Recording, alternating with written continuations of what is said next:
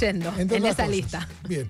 Eh, otra noticia del día tiene que ver con lo que pasa en Vélez Sarfield. Hay novedades en la causa. Hay novedades, Agus, eh, porque hoy quedaron detenidos después de presentarse en los tribunales de Tucumán. Esto fue después del mediodía. La decisión la toma Eugenia María Pose, que lo que ordenó fue la aprehensión después de lo que fue la declaración de la denunciante en Cámara Gesell. Asterisco, lo que debe haber sido esa cámara Gesell para que después de lo que fue, eh, decíamos, eh, la, la declaración de la periodista deportiva de 24 años haya sido esa la, decisión.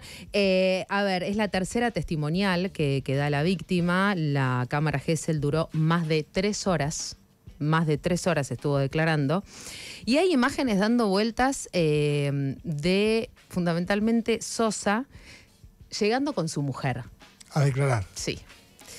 Eh, datos. Digo, dentro de lo que son estos contextos, estamos hablando de Sebastián Sosa, uruguayo, él, 37 años, casado con hijos. Brian Cufré, 27 años, casado con hijos. Abiel Osorio, 21 años, el que quizás en este caso puntual era el que vos podés decir, bueno, dentro de lo deportivo con mayor proyección, bueno, esto claramente baja esa proyección, y José Ignacio Florentín de 27 años, el, paraguayo. A ver, la única medida dispuesta eh, hasta el momento era no salir del país por 90 días.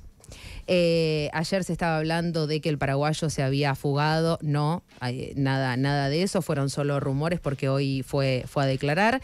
La fiscal le preguntó a los abogados defensores de los cuatro acusados si estaban dispuestos a, brindar los celulares y también hacerse pericias de ADN. Ellos dijeron que sí, aceptaron, así que también están los celulares y en breve también las pericias de ADN. Y por ahora, Agus, están detenidos por 48 horas eh, y todo va a depender de la audiencia de este miércoles. ¿Por qué? Porque si el juez dice que no corresponde la detención, obviamente que van a ser inmediatamente liberados. Hay dos cosas a tener en cuenta. Primero, em, reflexiones al respecto si quieren, también la actitud de Vélez, ¿no? Digo, en este caso lo que hay que decir, Vélez es uno de los clubes eh, que mm, fue el primero en sacar el famoso protocolo de acción contra casos de violencia de género cuando estaba Paula Ojeda dentro del club. Paula Ojeda, una abogada, representante ella también de los derechos de las mujeres y, y ha, cubierto varios casos de, abuso. Y la nombro porque después es Claudio Tapia el, el que se la lleva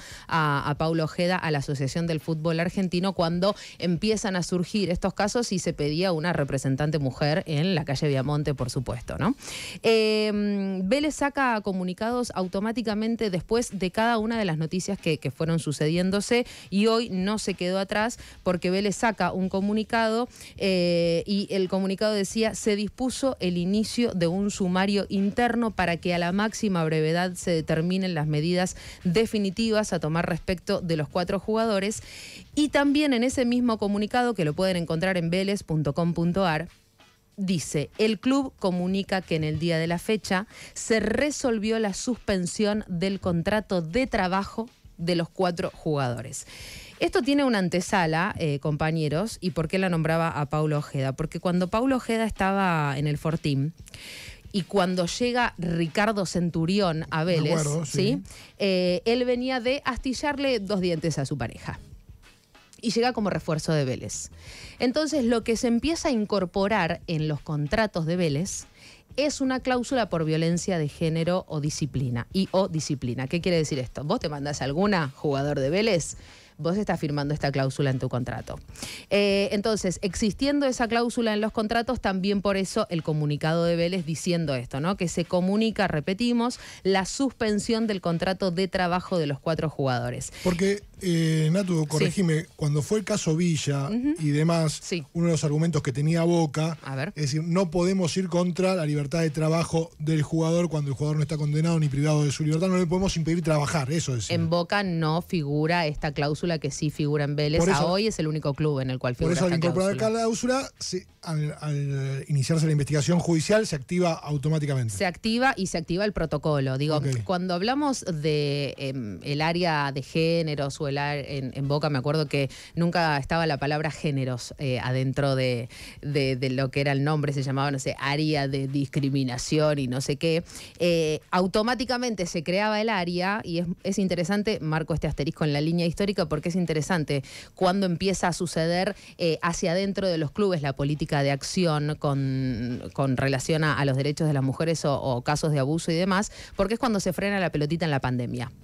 Cuando se frena el fútbol, lo que no se frenó, todo lo contrario, fueron las cuestiones que tenían que ver con la aplicación de políticas hacia adentro eh, con relación a esto, ¿no? Casos de abuso, qué pasa y demás. Y fue a partir de la pandemia donde empiezan a surgir los protocolos de acción contra casos de violencia de género en los clubes. No todos los clubes de primera división lo tienen, la mayoría, no todos.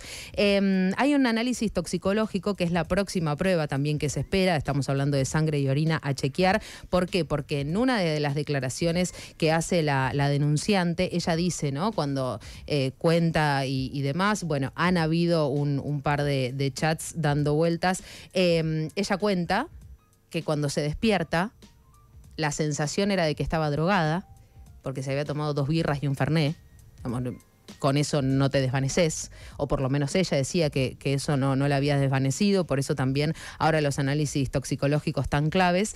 Em, y hay, hay una cuestión, Agus, que cuando vos estabas encarando lo, lo de Boca y los ejemplos de Boca, Vélez ya tuvo casos. Claro, sí. Lucero, Hace Al- poquito, con exactamente, Almada, Thiago Almada, Alma- ¿no? exacto, en una quinta, Todos ¿no? tuvieron que ir club. Exactamente, Ricardo Centurión y demás. Ahora, acá hay un dato clave en, en toda la, la investigación y, y lo veníamos contando eh, la semana pasada.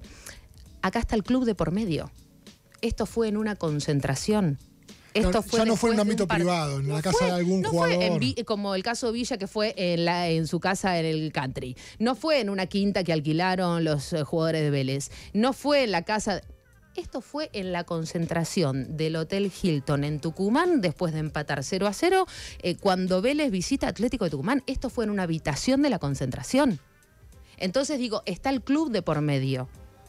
Los jugadores recibieron a una mujer en una habitación a la cual la invitaron y la invitó eh, Sosa puntualmente y le dijo subí directamente a la habitación 407, trae Fernet, trae birra, que si el utilero les consiguió una birra y demás. Entonces, acá en, en- en toda la investigación, por eso digo que Vélez no se podía hacer el sonso con respecto a las decisiones porque estaba íntimamente involucrado. Antes, cuando estaba Paulo Ojeda, recordemos que llega la nueva dirigencia de Vélez a fin de año, cuando estaba Paulo Ojeda y cuando se iban a concentraciones y demás, a familiares, a visitas, a lo que sea, no se las podía recibir en las habitaciones. Bajaban al hall y todas las visitas de familiares, lo que sea, se hacían en el hall y era de público conocimiento con quién tenía relación cada uno de los integrantes de ese plantel concentrado.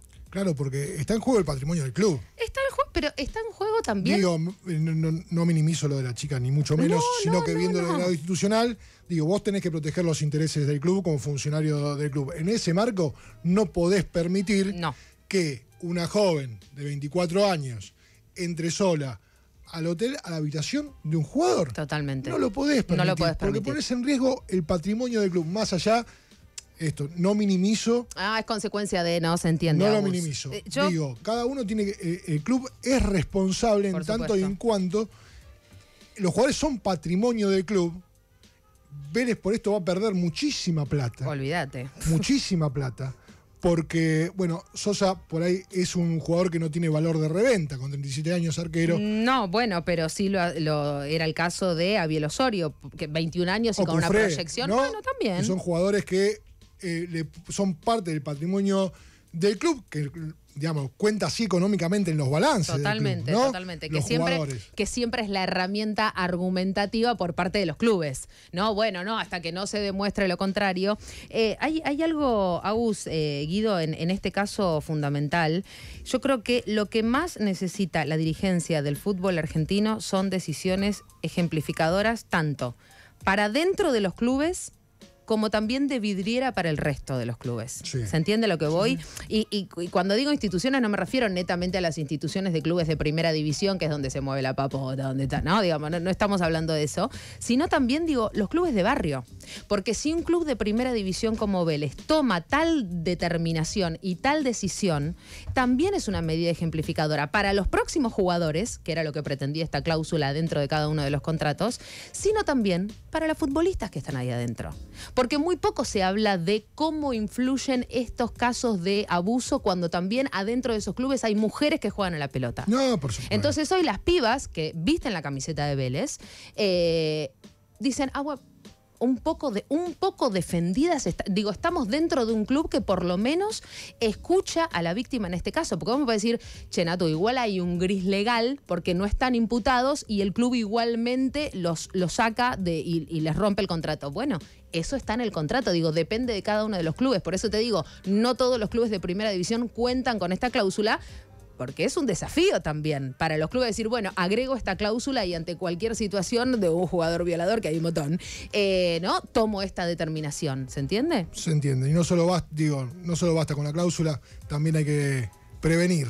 ¿No? Totalmente. Prevenir que no, que no hizo Grez en este caso. Totalmente. Eh, cierro con la última porque cuando estábamos entrando al programa, eh, Godoy Cruz eh, tiene dos jugadores, Julián Encina de 19 años y Enzo Tejada de 18, que quedaron detenidos hoy en una causa por delito de abuso sexual agravado con acceso carnal iniciada en noviembre de 2023. Tenían que fijar domicilio, no lo hicieron y no solo eso, sino que hay pruebas genéticas en, las, eh, en la, la ropa de, de la víctima que por supuesto lo- los complican. Por eso hoy no solo estamos hablando de Vélez, sino también de Godoy Cruz.